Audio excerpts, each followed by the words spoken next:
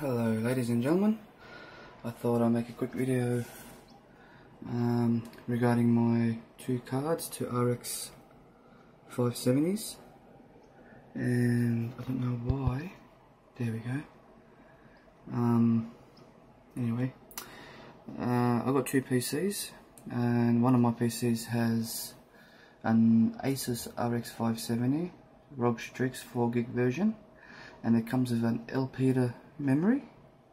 Um, and it also has a gigabyte 7850 overclock 2 gig um, card on there.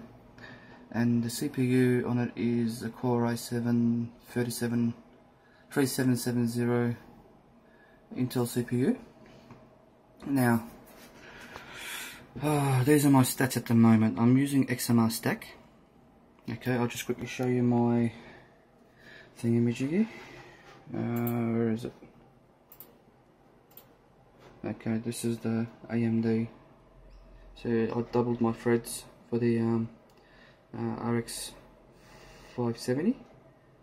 You just copy and paste on the bottom like this, and that way what happens is, so rather than having AMD um, one, uh, 0 and 1. Now I get AMD 0, 1, 2, ooh. yeah, 0, 1, 2. Um, now AMD 0 is my, uh, here we go, is my HD 7850 and 1 and 2 is uh, two threads on the RX 570. Um, so I'm getting about 860, 70 something, nearly close to 900 um, kilohashes, um, hashes for that card. And for that, I am using up around 100, uh, 92 to around, around close to 100 watts to get that from that card. Um, I'm going to show you my other card now. Oh, that's on my other PC. I just got to um, disconnect my HDMI cable. Jump that. And my mouse. Okay.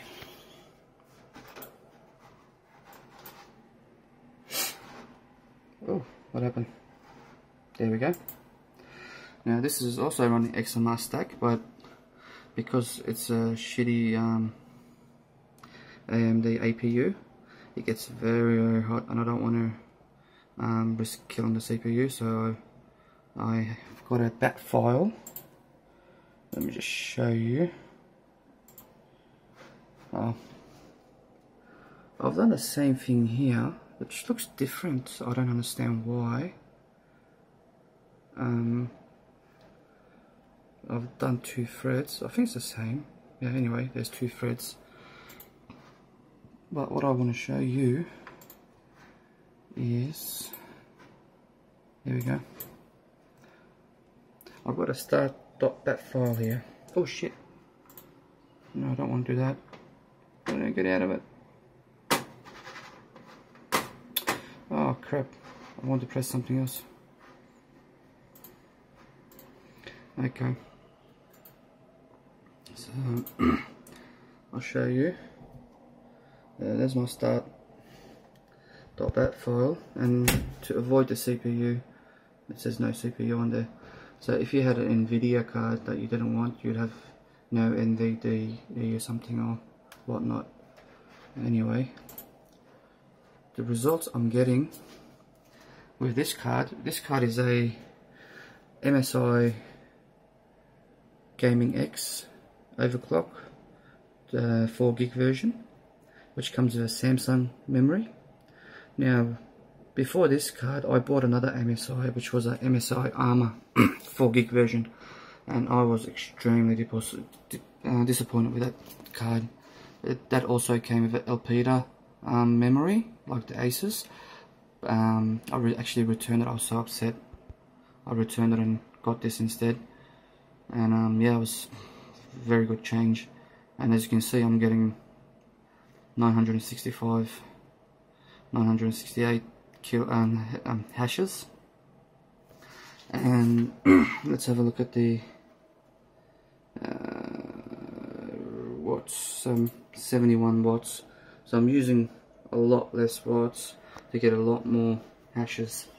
And the card is running at uh, 59 degrees and it's, actually running much cooler as well I'm so surprised. Um, I was I used to think people were just talking a lot of crap about um, all the memories being shit except the Samsung. Um, yeah to a point they are right. Um, but you can reach those hashes with Elpida memories but just got to look at the power usage and the heat so when you put it all together you really should try to get a card with a Samsung memory.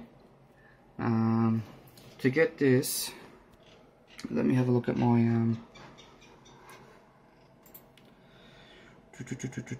where is it?